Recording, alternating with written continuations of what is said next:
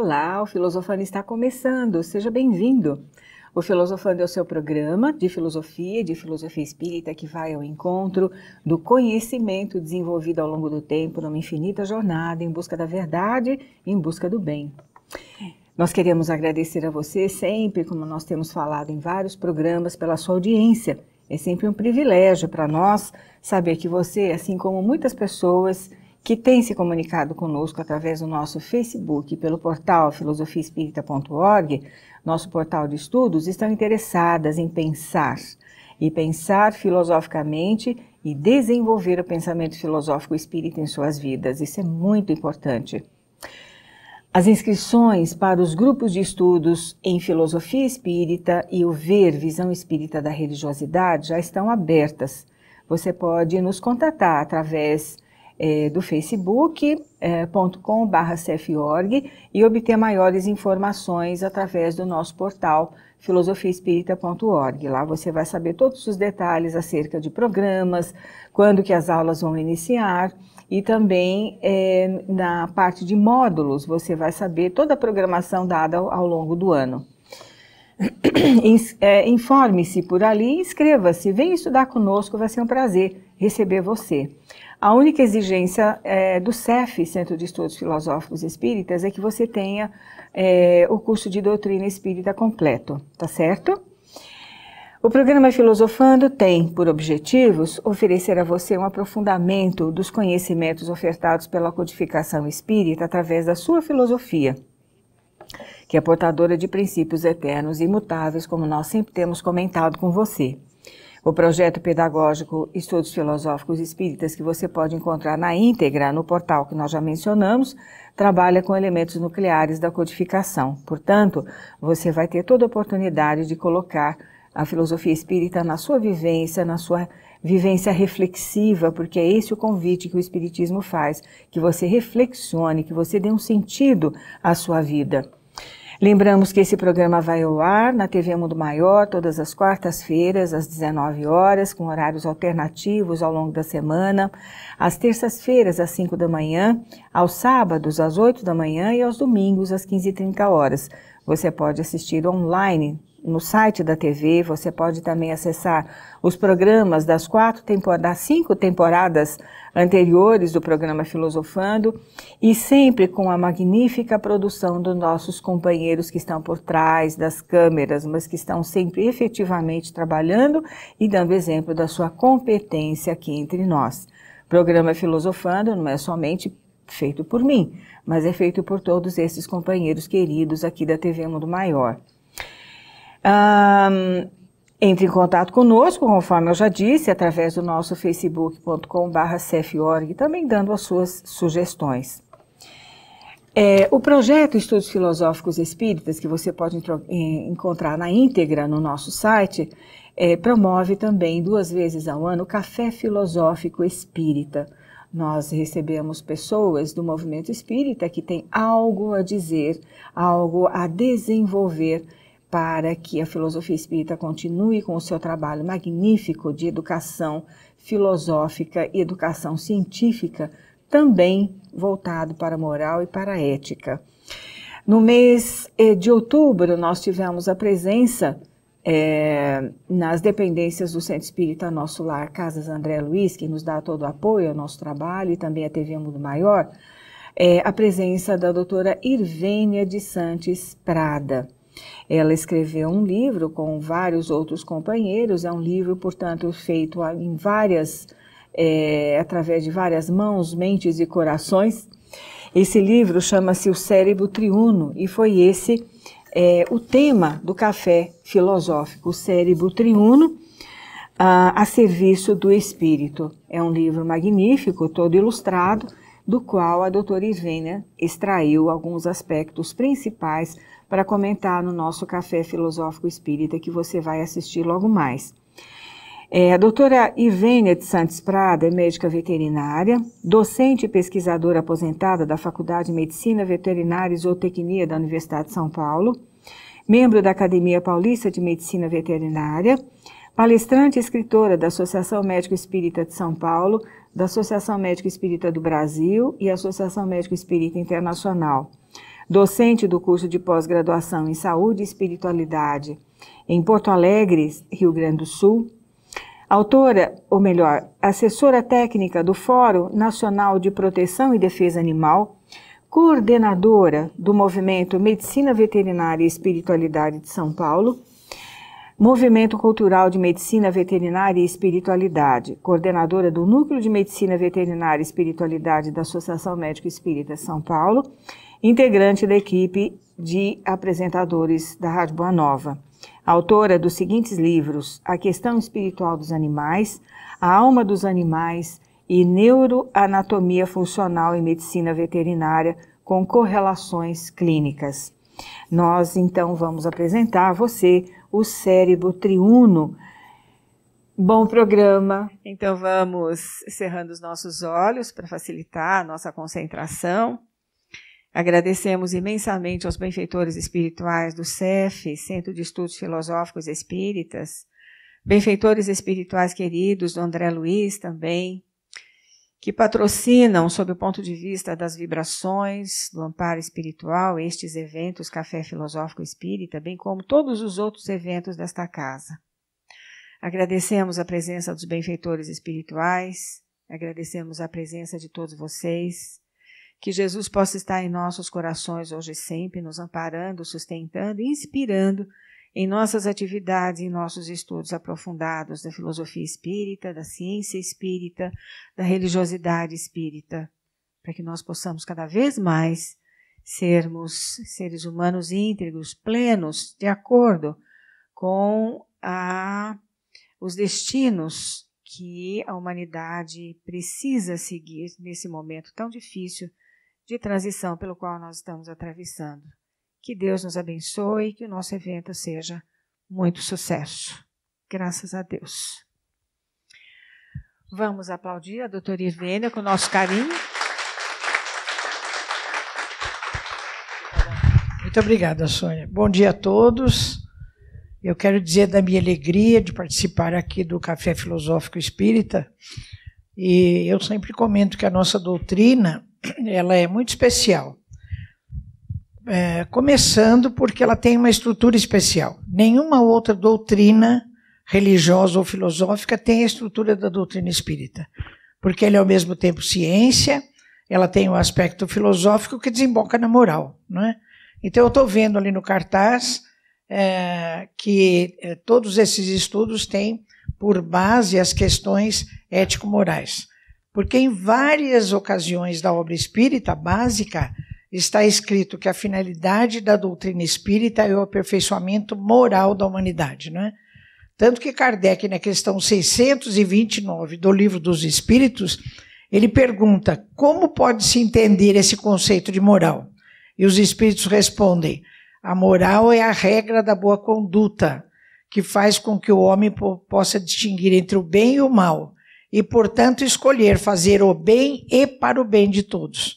Olha onde desemboca a nossa doutrina, né? Então, tudo que nós estudamos, todas as reflexões filosóficas desembocam nessa capacidade que a gente vai adquirindo de fazer o bem e para o bem de todos. É uma coisa extraordinária, né? A nossa doutrina. Bem, hoje nós vamos falar desse livro que eu escrevi em parceria com os meus queridos amigos, Dr. Décio, Iandoli Júnior e Dr. Sérgio Lopes, e que se chama o cérebro triuno a serviço do espírito. Então, eu agradeço muito, viu, Sônia, a oportunidade de estar aqui com vocês hoje, aqui na, nas casas André Luiz. Bem, então vou contar para vocês como é que surgiu a ideia de escrever esse livro. Em 2013, foi publicado um trabalho feito por vários integrantes da Associação Médica do Brasil a respeito da glândula pineal. O que, que eles fizeram? Pegaram todas as obras de André Luiz, fizeram uma varredura e recolheram todas as informações que existiam a respeito da glândula pineal. Dividiram as informações em vários blocos e confrontaram com as informações da ciência acadêmica. E publicaram esse artigo numa revista de alto impacto. É uma das revistas de especializadas né? É, publicações de neuroendocrinologia, e, inclusive, o relator do, do, desse trabalho foi um cientista que um dos mai, maiores estudiosos da glândula pineal. Ele não fez nenhuma correção, nenhuma objeção. Esse, esse artigo foi publicado. Então, um dos autores, numa palestra que eu assisti, ele disse assim: que a partir da publicação desse artigo, Chico Xavier e André Luiz já fazem parte do, do PubMed, que é um dos maiores bancos que, de dados da, da área da saúde, da área da medicina e de outras profissões relacionadas à saúde. Né? Bem, eu tive o privilégio de conviver e viajar com a doutora Marlene durante muitos anos. E em 2014, eu estava viajando com a doutora Marlene, eu comentei a respeito desse artigo, eu dizia assim, doutora Marlene, eu gostaria de fazer uma coisa parecida em relação ao cérebro. Porque eu tinha acabado de escrever esse livro lá na faculdade, Neuroanatomia Funcional e Medicina Veterinária. Antes disso, eu tinha ido à faculdade de medicina e fiz um estágio para estudar o cérebro humano. Então, eu tinha estudado do ponto de vista acadêmico o cérebro humano e o cérebro dos animais. Né? E também eu tinha lido nesse livro de André Luiz, No Mundo Maior, as observações de Calderaro, que é o mentor.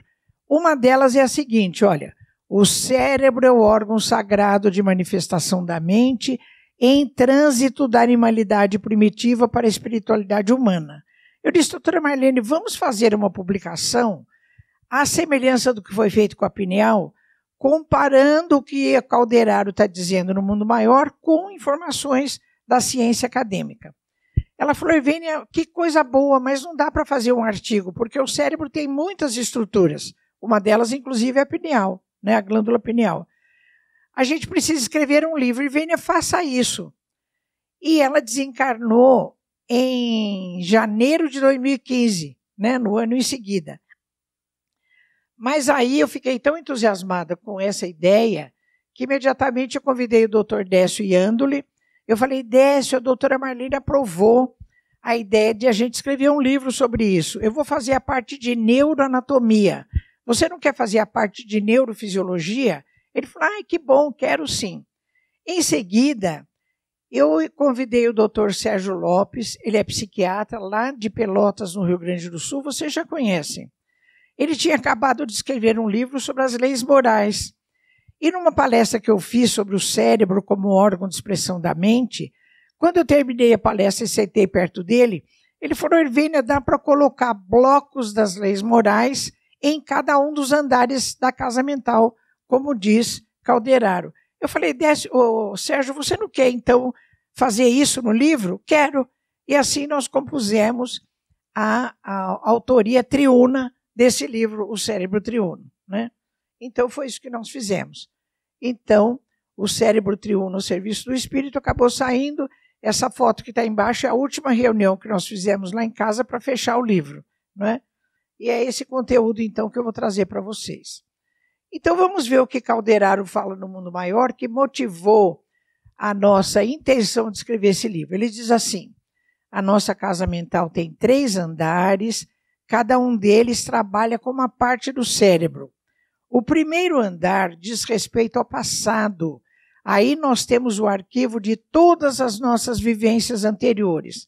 Ele trabalha com a parte mais profunda do cérebro, e Calderaro chama essa parte mais profunda de cérebro inicial. Aí são trabalhados instintos e automatismos. O segundo andar da casa mental trabalha com o presente, com aqui, com agora. E ele trabalha com a segunda parte do cérebro, em que ele destaca no córtex, principalmente o córtex motor. Nós despendemos aí esforço e vontade para conseguir as coisas que queremos. Finalmente, o terceiro andar da casa mental trabalha com o futuro, com as metas e ideais que queremos atingir, e trabalha com o lobo frontal, mais particularmente com a chamada área pré-frontal, que é um córtex muito diferenciado, trabalha com funções cognitivas. Né? Então, basicamente, é isso é, o, que, o que Calderaro fala, e a gente foi trabalhando em cima disso na, nas nossas é, redações. A primeira parte eu fiz, eu, eu que vou falar para vocês, mas vou falar rapidinho, que a segunda parte que comeu o doutor Décio, ele tratou do quê? Ele fez uma conceituação de mente, de consciência, tratou dos liames de interface físico-etérica, falou de neurotransmissores, neuromoduladores, hormônios, da assimetria, entre aspas, funcional entre os dois hemisférios cerebrais. E ele falou também da glândula pineal. Ele tratou da glândula pineal não só do ponto de vista é, anatômico, morfológico, falou da melatonina, da dimetiltriptamina, que regula os ciclos de sono e de vigília, mas falou também da glândula pineal como janela do espírito. Por quê? Tendo receptores de campos eletromagnéticos, ela trabalha intensamente durante os fenômenos mediúnicos, durante o transe mediúnico. Não é? Ele fala disso também. E o doutor Sérgio Lopes, na terceira parte, o que, que ele fez? Ele colocou blocos das leis morais em cada um dos andares. Por exemplo, no primeiro andar, que trabalha com o cérebro inicial, ele colocou a lei de conservação, a lei de reprodução e lei de destruição. Vocês vão perceber que à medida que nós vamos subindo os andares da casa mental, as leis morais vão se tornando cada vez mais sofisticadas, cada vez mais suaves, cada vez mais elaboradas. Por exemplo, no segundo andar da casa mental, ele coloca ele coloca outras leis morais, a lei de sociedade, a lei do trabalho, lei de progresso, igualdade e liberdade. Não são as leis com as quais nós trabalhamos na nossa vivência do dia a dia, não é? E no terceiro andar da casa mental, finalmente, ele coloca aquelas leis que são mais elaboradas, mais sutis. Então, quais são elas? Ele trabalha com a lei de adoração, a lei de justiça, amor e caridade e a lei de perfeição moral. Então, no primeiro andar, trabalhamos com aquelas leis que são mais primitivas: lei de conservação, lei de destruição, lei de reprodução. No segundo andar, a lei de liberdade, sociedade, enfim, de vivência. E no terceiro andar, as leis que são mais sutis né, da nossa vivência: lei de adoração, lei de justiça, amor e caridade e lei de perfeição moral. Essas duas partes ficaram muito bonitas. Bom, eu vou falar para vocês então mais da minha parte, que é a primeira, né? Então vamos recordar. Então, André Luiz, mais especificamente Calderaro, ele refere os três andares da casa mental, cada um deles trabalhando com uma das partes do cérebro. Calderaro não usa a expressão cérebro triuno. Eu vou encontrar essa expressão depois numa referência acadêmica. Mas ele, é, com pioneirismo de mais de 20 anos, ele considerou que o cérebro humano, assim como o cérebro dos animais que têm cérebro, ele é construído em três blocos que correspondem, cada um deles, a, uma, a um andar da, da casa mental. Então vamos seguindo, vamos lá. Vou falar primeiro do primeiro andar da casa mental, que trabalha com o cérebro inicial. Então, eu procurei estudar, eu li bastante, eu refleti bastante sobre o que Calderaro dizia, para poder entender a que partes do cérebro ele estaria se referindo. E na minha leitura, eu considerei que é assim, olha, ele chama de cérebro inicial todas as estruturas neurais subcorticais. O que eu estou dizendo com isso? Olha, o nosso cérebro, como o cérebro dos animais, aqui na parte de cima ele tem dois hemisférios, o hemisfério direito e o hemisfério esquerdo. Esse hemisfério ele é revestido externamente por uma camada de substância cinzenta que é o córtex cerebral. Como ele é muito extenso, o que ele fez? Ele faz uma porção de ondinhas para poder caber naquele espaço, né? Então, tudo que está abaixo do córtex cerebral, nos dois hemisférios e na parte mais profunda do encéfalo, corresponde ao que Calderaro chama de cérebro inicial, no meu entendimento. Não é? Eu fiz um estudo e acabei concluindo que é isso. Então, quais são as partes do cérebro que correspondem ao que, Calderaro, ao que Calderaro chama de cérebro inicial?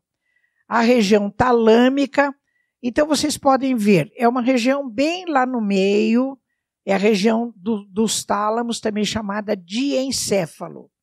Então, o diencéfalo, a região talâmica, o tronco encefálico, que é aquela região toda que está abaixo do cerebelo e que se continua da medula espinal.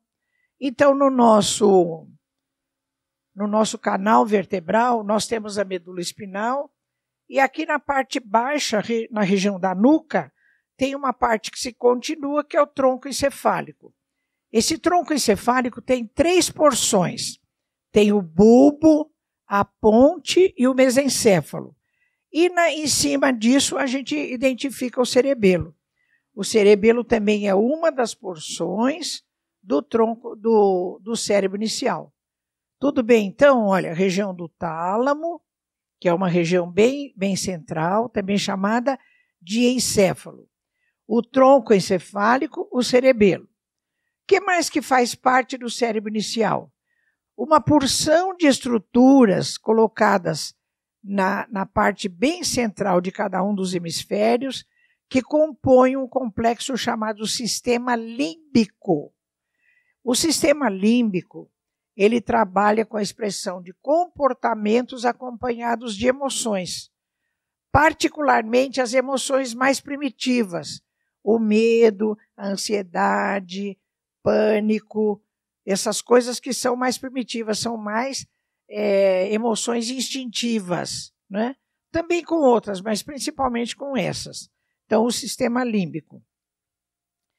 E trabalha ainda o, o primeiro andar da casa mental com alguns núcleos que são massas de substância cinzenta localizadas profundamente em cada um dos hemisférios cerebrais. Então, na minha leitura, essas estruturas todas é que compõem o que a Calderaro chama de cérebro inicial. Vamos rever. Olha, então nós temos lá a região talâmica, o tronco encefálico, o cerebelo, o sistema límbico e alguns núcleos da base. São massas de substância cinzenta colocadas profundamente em cada um dos dois hemisférios cerebrais. Tudo bem até aqui, pessoal? Vamos para frente. O que Calderaro. Bom, eu lembro que a glândula pineal faz parte da região talâmica, não é? Também faz parte dessa região. Vamos ver o que Calderaro chama de região intermediária, que trabalha com o segundo andar da casa mental, trabalha com o presente, com aqui, com agora. Então é assim. Essa região, no meu entender, ela compõe as estruturas do neocórtex cerebral. Eu já falei para vocês então que cada um dos hemisférios cerebrais, ele é revestido externamente por uma fina camada de córtex, como é uma estrutura muito nova, é chamada também de neocórtex, né? Bom, então eu na minha leitura, a região intermediária contempla todo o neocórtex dos dois hemisférios cerebrais, menos o da região frontal, que trabalha com o terceiro andar. Então vou mostrar no slide, olha. Toda a região de neocórtex, tanto na face lateral quanto na face medial, e tem regiões que são sensoriais, outras são motoras e outras são associativas. São as três categorias do neocórtex cerebral. Menos a região da chamada área pré-frontal. Olha, pré-frontal aqui, pré-frontal aqui, que corresponde ao quê? Ao terceiro andar da casa mental. Então, revendo o que a gente acabou de falar. O primeiro andar da casa mental, que corresponde ao arquivo do passado, trabalha com todas as estruturas do cérebro situadas abaixo do córtex cerebral, que são a região talâmica, o tronco encefálico, o cerebelo, o sistema límbico e os núcleos da base. A segunda região, a intermediária, trabalha com o presente, com aqui, com agora, com o segundo andar e contempla todo o neocórtex, ou seja, o córtex que reveste os hemisférios cerebrais, menos a região da, da área pré-frontal, que já está comprometida com o terceiro andar. Então, na minha leitura, essas são as regiões que correspondem ao primeiro, ao segundo e ao terceiro andar da casa mental. Então, ali, olha, na, no, na figura de cima, é uma vista lateral de um dos hemisférios. Na parte de baixo, é como se eu tivesse cortado aqui, estou vendo por dentro. É a vista medial do hemisfério. A parte que está em vermelho, ela ainda é motora. Aquela partezinha lá que a gente vê na vista lateral, que está em cor de laranja, ela corresponde a um neocórtex já diferenciado, associativo, secundário.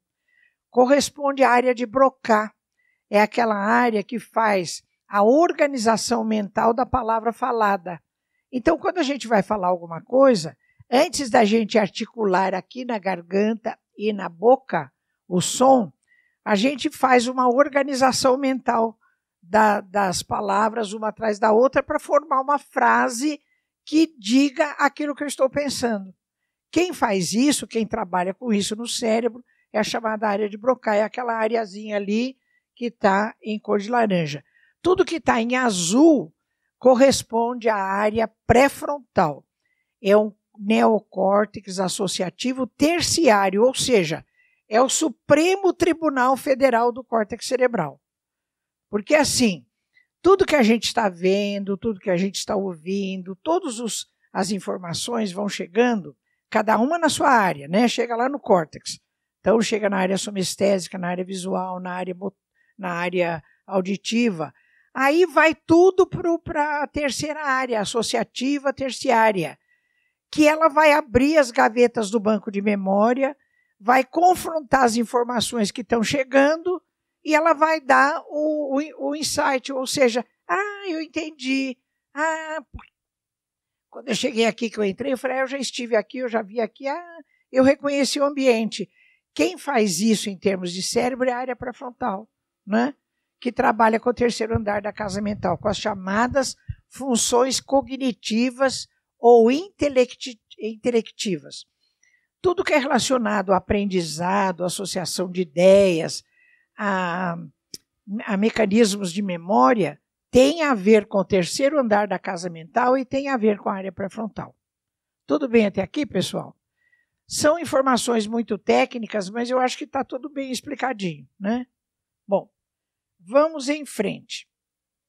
Olha, é, como seria muito cansativo eu ficar falando de cada área, o que, que ela faz, como ela trabalha a serviço do espírito, eu optei por fazer alguns destaques no livro, né? Então, vamos ver o que, que tem de interessante no livro que resultou desses estudos todos. Então, vamos lá. O primeiro destaque que eu quero mostrar para vocês é uma recomendação de Calderaro. Ele fala insistentemente que nós temos necessidade de livre trânsito nos três andares da casa mental. Porque às vezes nós nos descuidamos, ou por problemas psicológicos, ou por problemas do passado, a gente estaciona no andar. E ele diz que nós precisamos tomar cuidado para ter livre trânsito nos três andares da casa mental. Então ele cita alguns exemplos. Vamos lá. Ele diz assim: olha, é, porque André Luiz pergunta: como interpretar de maneira simples as três regiões da vida cerebral? Olha o que Calderaro responde. As escolhas do presente têm que ter por base as experiências do passado e os ideais a serem conquistados no futuro. Então vamos dar um exemplo. Se eu tenho uma dificuldade, por exemplo, de perdoar em função de algumas coisas do passado, eu preciso lidar no presente, eu preciso reconhecer essa minha dificuldade, por isso que já se diz: conhece-te a ti mesmo. Porque conhecendo as nossas dificuldades, a gente tem que reconhecê-las, trabalhar com elas, para resolver isso, para ser uma pessoa melhor, mais libertada das amarras do passado no futuro, não é?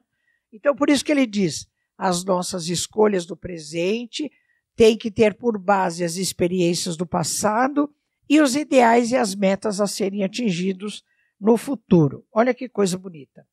E ele cita exemplo o caso de Pedro. Eu não sei quem leu esse livro, No Mundo Maior, vai se lembrar. Capítulos 3 e 4, está o caso de Pedro e Camilo. Pedro assassinou Cabilo por questões econômicas, financeiras. Cabilo desencarnado quer se vingar de Pedro. E Pedro encarnado, ele começa a entrar em remorso, em complexo de culpa. Bom, o que acontece? Quando André Luiz e Calderaro vão socorrer os dois, eles já estão há 20 anos em processo obsessivo mútuo, interpenetrados e rodeados por fluidos deletérios. Porque um quer se vingar do outro e o outro está com remorso. Né? Então, o que acontece? Pedro, encarnado, ele fica tão desesperado de remorso que ele se ele emerge no trabalho, ele trabalha dia e noite, dia e noite para quê? Para esquecer o remorso. Então, Calderaro diz que essa extrema dedicação ao trabalho, às vezes, não é uma coisa boa. A pessoa não está trabalhando para ser útil à sociedade, para trazer alimento para sua família.